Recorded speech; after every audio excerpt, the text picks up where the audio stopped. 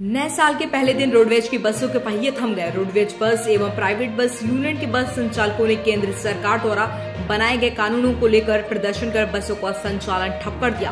केंद्र सरकार के बनाए गए कानून, जिसमें ड्राइवर को 10 साल की सजा व 10 लाख रुपए जुर्माना को लेकर बस चालकों ने हड़ताल कर दी जिसकी वजह से यात्रियों को परेशानियों का सामना करना पड़ा। बसें खाली नज़र आई।